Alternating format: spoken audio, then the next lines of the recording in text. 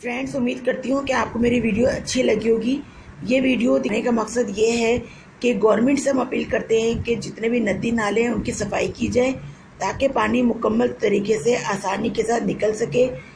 हर हमेशा जब भी बारिश होती है, या तो सड़कों पे पानी भर जाता है खम्भों में करंट आ जाता है, या फिर नदी नाले उबल जाते हैं, घरों में चले जाते हैं, उसमें कितनी ज़्यादा जानी और माली नुकसान होते हैं।